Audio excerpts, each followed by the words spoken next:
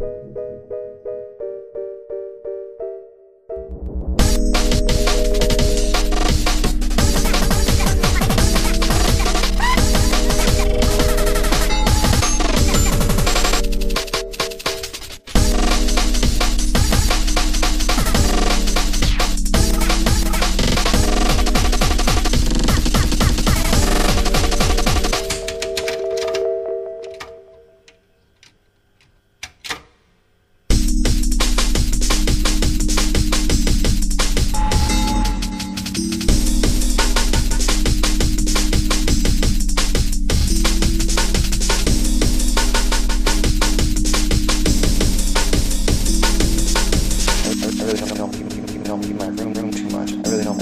I really don't, keep my room too much.